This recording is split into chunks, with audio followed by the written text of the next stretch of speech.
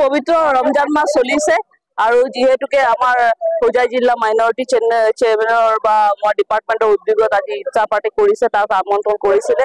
আৰু এই পবিত্ৰ মাহত যিধৰণে আমাৰ ইছলাম ধৰ্মী লোকসকলে আজি এনেকে উপবাসে কৰি পেলাই ইফতাৰত অংশগ্ৰহণ কৰে সেইকাৰণে আমি সকলোৱে আহিলো আৰু খুবেই ভাল লাগিছে সকলোকে লগ ভাগ পাই পেলাই।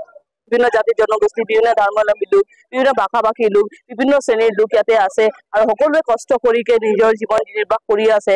আৰু আৰু যেতিয়া এই দহোটা বিধানসভা সমষ্টি আমাৰ ইয়াত কাজিৰঙাত আছে সকলোতে গৈছো তেতিয়া ৰাইজে একেষাৰে কৈছে যে আপোনাৰ আপুনি আগবাঢ়ি আহিছে আমি আপোনাৰ লগত আছো আৰু যিহেতুকে আমাৰ বিৰোধী ঐক্য মঞ্চ আমাৰ লগত আছে আমাৰ চেণ্টাৰ অফ ইণ্ডিয়া এলায়েন্সো আমাৰ লগত আছে যথেষ্ট আশাবাদী কাৰণ আমাৰ সহজ জনসাধাৰণে কৈছে যে আমি এই বিজেপিৰ পৰা মুক্ত বিচাৰিছো আমাৰ মুক্তি লাগে আৰু ঠিক তেনেধৰণে যি ধৰণে তেওঁলোকে প্ৰতাৰণা কৰিছে আজি অসমৰ ৰাইজক আজি সেই প্ৰতাৰণাৰ পৰা ৰক্ষা বিচাৰিছো। আৰু গণতন্ত্ৰৰ ওপৰত যি এটা বিপদ আহিছে এই গণতন্ত্ৰটোক বচাবলৈ কাৰণে ভাৰতবৰ্ষক বচাবলৈ কাৰণে সকলো ঐক্যবদ্ধ হৈছে আৰু মনত যি ধৰণে এই বিজেপিয়ে বিভিন্ন মিছা প্ৰতিশ্ৰুতি দিছিলে সেই মিছা প্ৰতিশ্ৰুতি প্ৰতিশ্ৰুতিৰ প্ৰতি উত্তৰ এই নিৰ্বাচনত দিব আৰু আমি যথেষ্ট আশাবাদী যে আজি সকলোৱে আমি জয় ৰাইজৰ জয় হ'ব বুলি মই আশাবাদী। ঠিকেই সেই আপুনিয়ে ক'লে যে বিজেপি ভয় খাইছে চাগে সেইকাৰণে বিজেপিয়ে আজি এই নিৰ্দলীয় প্ৰাৰ্থীসমূহক আজি এই বিনাকান্দি অঞ্চলত আজি প্ৰাৰ্থিত্বৰ কাৰণে তেওঁলোকক দিয়া হৈছে বুলি আহ, সকলোৱে চৰ্চাত পৰিছে। তাৰমানে হয় যেতিয়াৰ পৰা আজি কাজিৰঙাটো হৈছে বা কাজিৰঙাত আমি বিৰোধী ঐক্য মঞ্চ আমাৰ কংগ্ৰেছৰ মনোনীত প্ৰাৰ্থী হিচাপে মই ওলাই আহিছো ৰাইজৰ সমৰ্থন পাইছো। সকলো মানে যি ধৰণে আমাৰ জয় জয় মানে হৈছে বা ৰাইজে সকলোৱে আশাবাদী যে আমি জয় হৈ যাম বুলি কে গণতন্ত্ৰটো ৰক্ষা কৰিবলৈ কাৰণে। সেইকাৰণে এই বিজেপিয়ে যে বিভিন্ন ধৰণৰ আজি স্বেচ্ছাচাৰিতাৰ দিশে তেওঁলোকে আজি দেশখনক ভাগ কৰিবলৈ লৈছে বা মাটি মানুহৰ মাজত ভাগ কৰিবলৈ লৈছে বা আমাৰ জাতি মাটি ভেটিৰ কথা কৈ পেলাই তেওঁলোকে আজি মাটি ৰক্ষা কৰিব পৰা হোৱা নাই আজি বিভিন্ন মাজত ভাগ ভাগ কৰা হৈছে।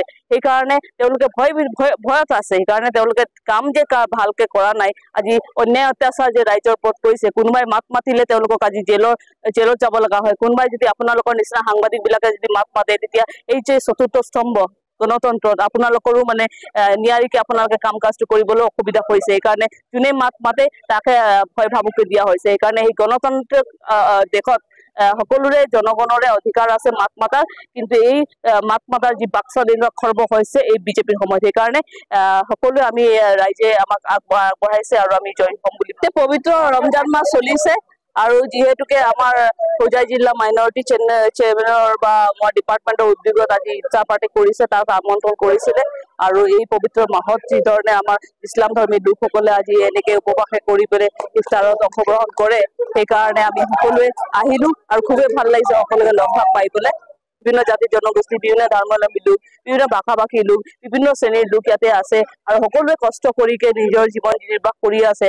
আৰু আৰু যেতিয়া এই দহোটা বিধানসভা সমষ্টি আমাৰ ইয়াত কাজিৰঙাত আছে সকলোতে গৈছো তেতিয়া ৰাইজে একেষাৰে কৈছে যে আপোনাৰ আপুনি আগবাঢ়ি আহিছে আমি আপোনাৰ লগত আছো আৰু যিহেতুকে আমাৰ বিৰোধী ঐক্য মঞ্চ আমাৰ লগত আছে আমাৰ চেণ্টাৰ অফ ইণ্ডিয়া এলায়েন্সো আমাৰ লগত আছে যথেষ্ট আশাবাদী কাৰণ আমাৰ সহজ জনসাধাৰণে কৈছে যে আমি এই বিজেপিৰ পৰা মুক্ত বিচাৰিছো আমাৰ মুক্তি লাগে আৰু ঠিক তেনেধৰণে যি ধৰণে তেওঁলোকে প্ৰতাৰণা কৰিছে আজি অসমৰ ৰাইজক আজি সেই প্ৰতাৰণাৰ পৰা ৰক্ষা বিচাৰিছো।